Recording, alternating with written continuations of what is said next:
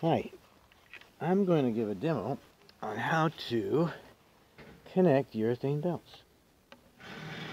Just got done trashing out my old belt, so I'm just going to stop, take a little time, and all you need is a heat gun.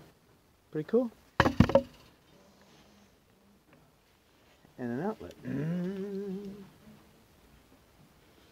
And what I'm after here with this heat gun is just to get it cool. Uh, just to just to warm it up to where it looks a little glossy.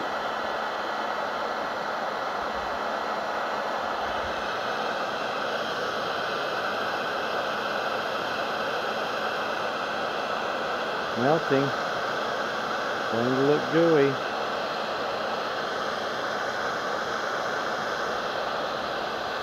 Now if it starts to bubble, you've gone too far. Just want it to liquefy. Getting there. Getting there.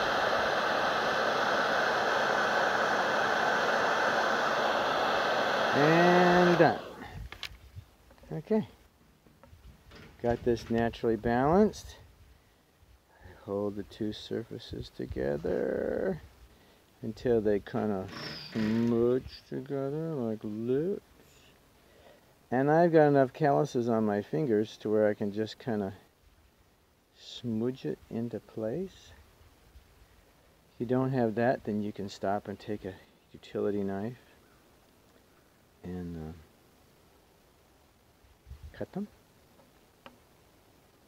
Isn't that scary? How easy that is? Cooling it down. Ta-da! The magic of science. Remember, we're all scientists.